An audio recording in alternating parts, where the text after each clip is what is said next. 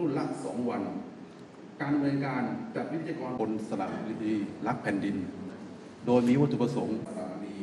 โดยเฉพาะการน้อมนำเศรษฐกิจพอเพียงมาปฏิบัติมาเป็นบ้านชาติศาสนาพระมหากษัตริย์และมีความภาคภูมิใจที่ได้เกิดมาเป็นคนไทย งานด้านความมั่นคงผูกจิตสำนึกในด้าน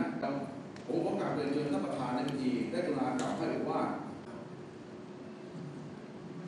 ท่านรองผู้ในวยการรักษาความมั่นค ปัจจุบันนะครับ ปัญหาภัยคุกคามต่างๆปลัดองค์การหาส่วนจังหวัดท่านประธานสภาจังหวัดท่านหัวหน้าส่วนราชการที่เป็นการจับช่วงละเมิดสถาบันเพื่อสูง และมีการบิดเบือนรวดเร็ว แล้วก็ทั่วถึงบางครั้งเนี่ยว่าหรืออาจจะได้มีการส่งข้อมูลไอ้ที่สำคัญเนี่ยมันรวมไปถึงความเชื่อ ก็จึงได้ เกิดให้มีการลำพังแต่มีตัวตั้งตัวตียังไม่พอ ต้องมีคนสนับสนุนก็ประมาณมะนาวยังแพงอยู่เลยเพราะทุกคนหันมากินมะนาว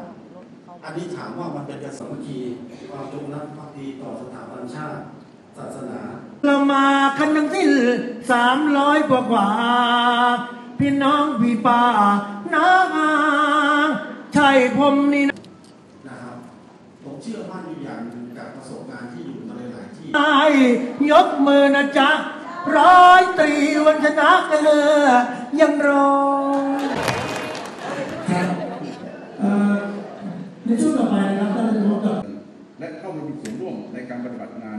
สนับสนุนแกนนำชุมชนแกนนำพี่น้องเอ่อการงานทางโน้นนะครับซึ่งช่วงนี้